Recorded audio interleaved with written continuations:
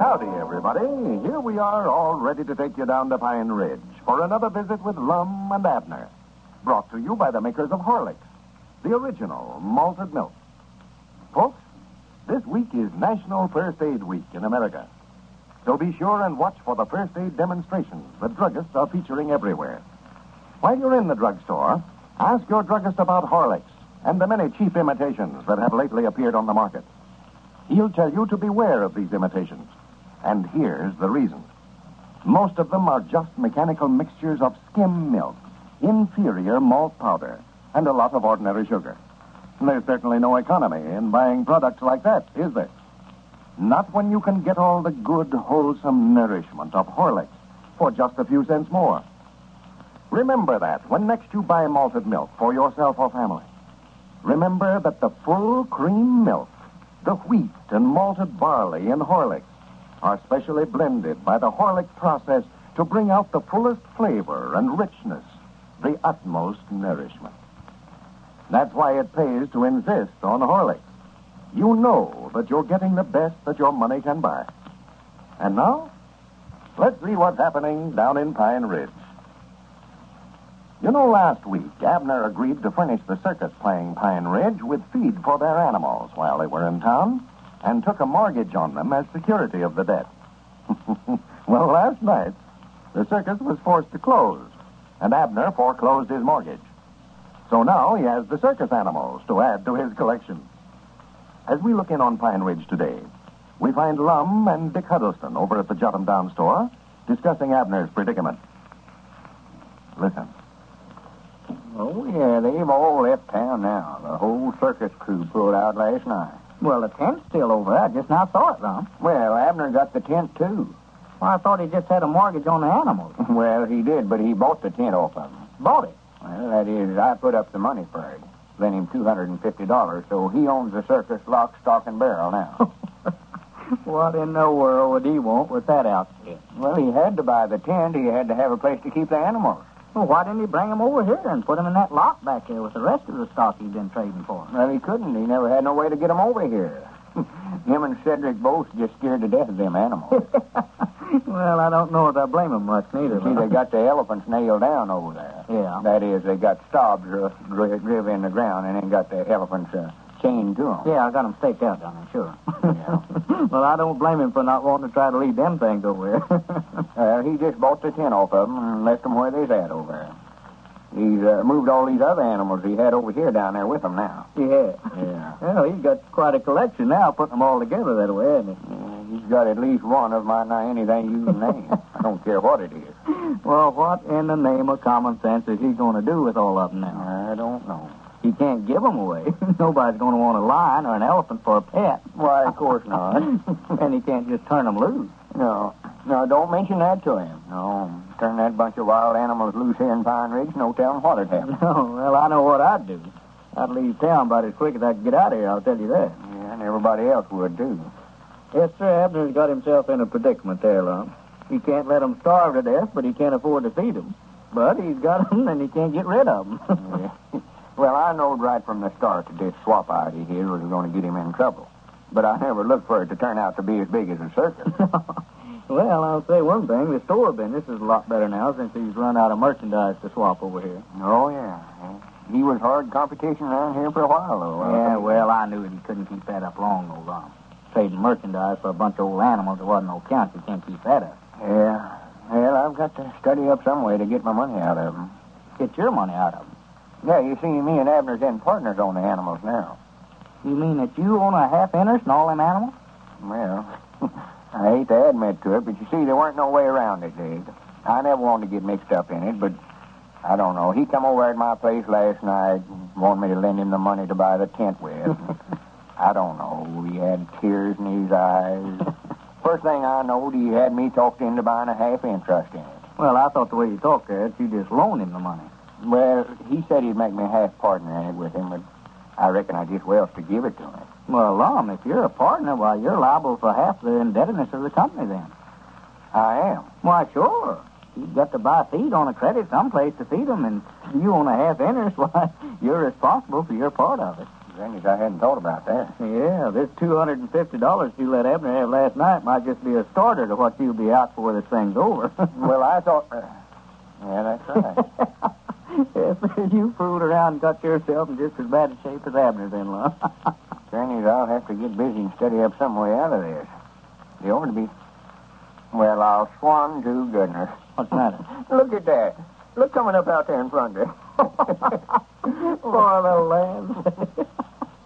Where'd he get that outfit like that? Anyway? that's the outfit the ringmaster wore in the circus. I recollect seeing him with it on. yeah, that's it. yeah, we got a whole batch of that stuff. Clown suits and one thing and another. Well, if he ain't a sight. Look at that coat. It's mine I dragged the ground. It's the big one. Looks like overcoat. Look at the way that silk hat fits him. Yeah. He got it drawed down over his head there to where he can't hardly see out from under. He's liable to walk right over something, walk right in a well. Oh, funny Come in, uh, Colonel. How's the circus business? Yeah, howdy, man. What you doing with that outfit on today? I dog it, I'm running a circus now. I'm supposed to wear clothes like this. it's a little bit small for you, ain't it, Abner? Yeah, it is a little tight on you there. Why, no, I don't think so. I figured it might be a little big, if anything. I ain't had a chance to look at myself in a looking glass yet. Yeah, don't do it. I wouldn't do it if I was you. You're liable to have a runaway with yourself. You ever see? Hey, we was just talking about your circus, Abner. What are you going to do with all these animals now? Well, I don't know hardly. I just always wanted a circus. Ever since I was just a kid of a boy growing up, I wanted a circus. Mm, so you could get in for nothing, I reckon. I, I, I just can't hardly believe I'm me. It's just too good to be true. I, I must be dreaming. Yeah. I don't think you're dreaming now, but you must have been whenever you swapped for the thing. if you are dreaming, you better wake yourself up and figure out some way to get some feed for them animals. yeah, you've got a problem on your hands there now, Abner. Well, I come by your store just now, Dick, to see you about getting some feed, but your woman said that you was over here. Well, I haven't got any feed over there, Abner. I've quit handling it. Got to where there wasn't any profit in the stuff, so I just cut it out about two months ago. Oh. Well, it looks like I'm going to have to make a trip to Cherry Hill or into the county seat one. We just got to get some feed somewhere.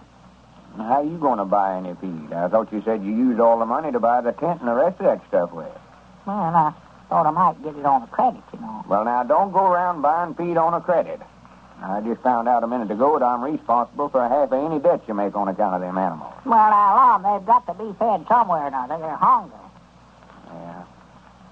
Yeah. Well, I don't know where in the world we'll find it. Well, I don't either, but we've got to get it. I know that. We've got to get it someplace.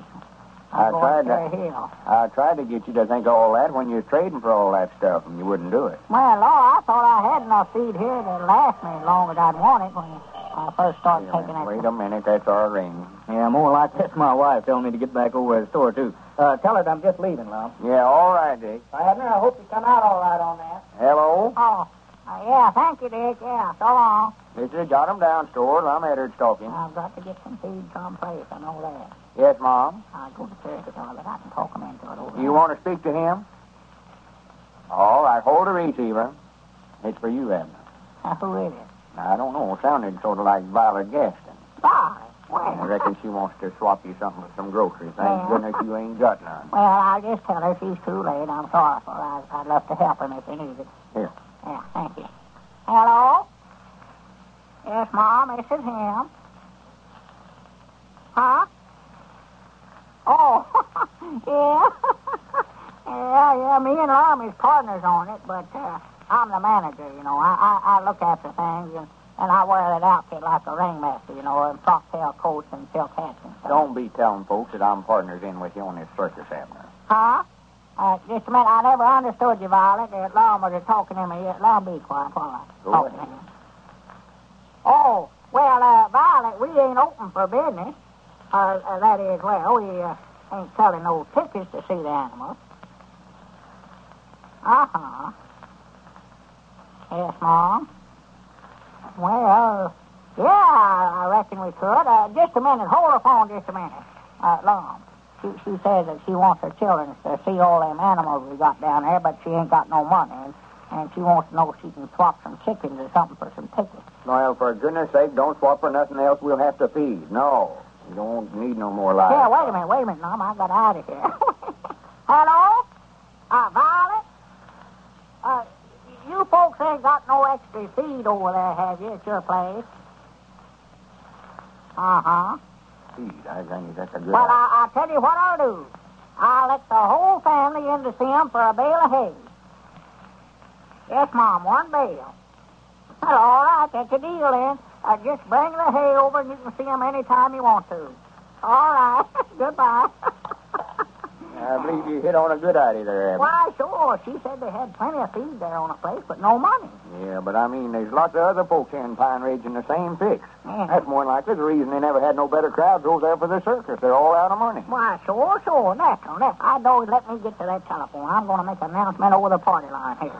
What you fixing to do there? Well, just a minute. I'm going to call up the folks and tell them that they can get into the circus if they'll bring some feed along for the animals.